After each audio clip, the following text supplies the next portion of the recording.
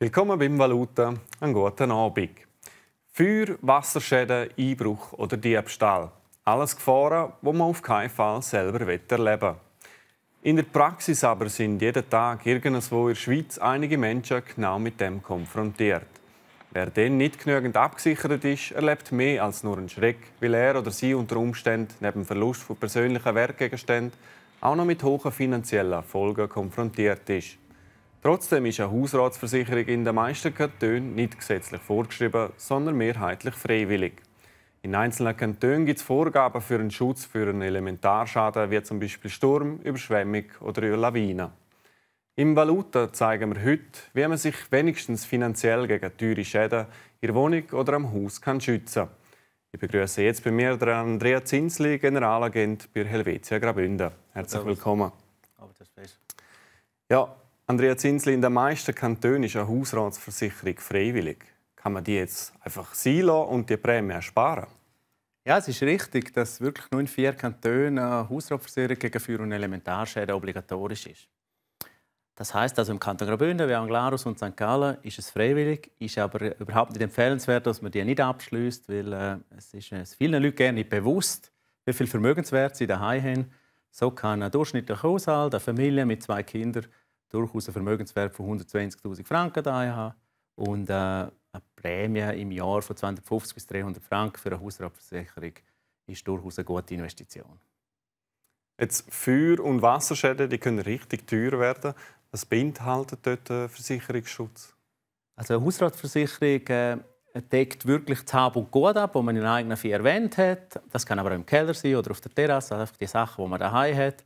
Und die sind eben deckt gegen Feuer und Elementargefahr. Elementargefahr heisst, es sind Naturgewalten. Das kann eine Überschwemmung sein, das kann ein, Hagel, äh, ein Hagelsturm sein, das kann aber auch äh, ein Hochwasser sein und äh, ein paar andere Gefahren.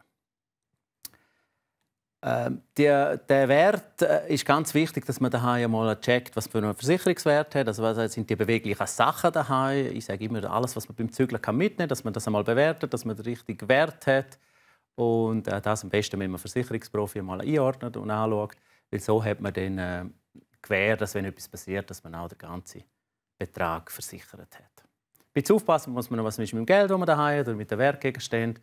Auch für die gibt es äh, Bargeld ist in der Regel bis zu einem gewissen Betrag mitversichert. Und äh, Wertgegenstände, je nachdem, zu einer gewissen Summe, da muss man schauen, ob es lenkt. Und wenn das nicht lenkt, kann man eine Zusatzversicherung machen. Wie sieht es aus mit Erdbeben? Ist man da ebenfalls mit der Hausratversicherung geschützt? Erdbeben ist im Grundsatz nicht in der Hausrat mitversichert. Das kann man aber eigentlich bei jeder Gesellschaft mit einer Zusatzversicherung einschließen. Weil Erdbeben gilt nicht als elementarversicherungstechnisch und darum muss man das separat einschließen. Danke mal für das Erste. Ja. Ja, viel grösser als das Feuer und äh, Erdbebenrisiko ist bei uns die Gefahr, dass man Opfer von einem Einbruch oder Diebstahl wird. Einbruch ist eines der häufigsten Delikte in der Schweiz. Betroffen sind alle, egal ob Besitzer von einem Einfamilienhaus, einer Eigentumswohnung oder ob Mieterinnen und Mieter oder Wegebewohner. Meistens verschaffen sich Täter gewaltsam Zugang zu den Wohnräumen, klauen Geld, Schmuck oder oft auch technische Geräte wie Laptop oder Smartphones und hinterlassen das Chaos. Andrea Zinsli, gegen Einbruchfolgen ist man jetzt in der Hausratversicherung geschützt. Was muss die zwingend beinhalten? Ja, man muss immer aufpassen oder checken, ob die Versicherung auch einen einfachen Diebstahl versichert hat. Das heißt, äh, wenn nicht eingebrochen wird oder es ist nicht Beraubung, also es ist nicht Androhung oder Anwendung von Gewalt, also ist so der Klassiker ist so der Trickdiebstahl oder man tut einfach etwas entwenden, wie ein Velo zum Beispiel am Bahnhof, dass das äh, beinhaltet ist. Dann ist auch wichtig, dass man darauf achtet, vor allem wenn man Eigentümer ist von einer Wohnung. Bei einem Einbruch ist etwa die nicht einmal das teuer, was gestohlen worden ist, sondern was, was verwüstet worden ist oder eben, dass man den Türrahmen oder das Fenster aufgebrochen hat. Und darum muss man darauf achten, dass das auch mit eingeschlossen ist. Das Gleiche ist bei den Wertgegenständen. Auch dort äh, schauen, wie die müssen aufbewahrt werden, dass es versichert ist. Und Bargeld ist in der Regel mitversichert, aber nicht bei einfachem Diebstahl. Das gilt zu überprüfen in der Polizei. Jetzt ist glaube fast jeder von uns schon mal bestohlen worden. Mit der Hausratpolizei ist man dort auch bei Diebstahl außer Haus versichert? Ja, also wenn man unterwegs ist und auch wieder, wenn eine Beraubung stattfindet, also wenn ins Hotel eingebrochen wird oder in einem Veloroom, wenn man auswärts ist, dann ist das mitversichert, wenn man, wenn eine Handtasche aus der Hand gerissen wird. Aber was man muss aufpassen und eine Zusatzversicherung machen, ist eben der einfach Diebstahl. Äh, sprich, ein Ski vor einem Bergrestaurant, eine Kamera im Restaurant, wenn die einfach entwendet ist, für das braucht eine Zusatzversicherung, wo man muss mit dem Versicherungsprofi zusammen eine Versicherungssumme festlegen dass das dann auch eingeschlossen ist. Aber das ist, ist gut machbar und gilt es anzuschauen. Jetzt nicht gesetzlich vorgeschrieben, aber doch auch sehr wichtig ist äh, Privathaftpflicht. Die wird meistens mit dem Hausrat zusammen abgeschlossen. Wie kriegt man da jetzt einen optimalen Rundumschutz? Ja, bei der Privathaftpflicht ist es auch wichtig, dass man wirklich die Lebenssituation anschauen. Was, wie bewegt man sich so im Leben? Was schafft man? Was macht man auch für Hobbys?